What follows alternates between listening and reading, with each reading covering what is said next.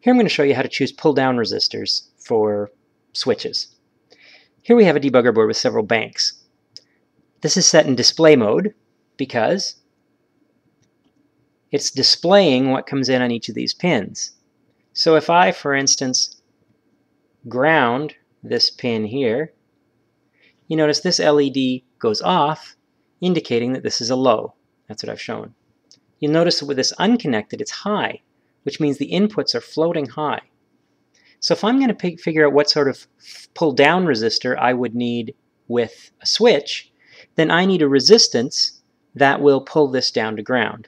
So for instance, here I have over here, this is a 100 ohm resistor. One end of the 100 ohm resistor is tied to this bus, which you'll see over here because the black lead is tied to ground. So if I put that there, you will see that indeed that makes it go down. So 100 ohm is definitely okay. But we can try higher resistors. What about 240 ohms? Yep, that still does it.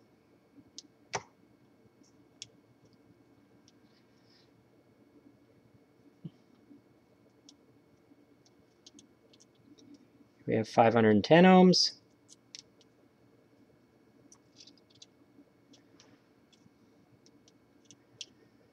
Here we have 1 kiloohm.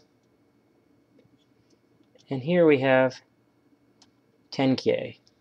Now you notice the 10 kiloohm resistor is too high. We're not drawing enough current so it's sitting high. On the other hand, the 1 kiloohm resistor is fine. So you see with the 1 kiloohm resistor, consistently, makes it go off.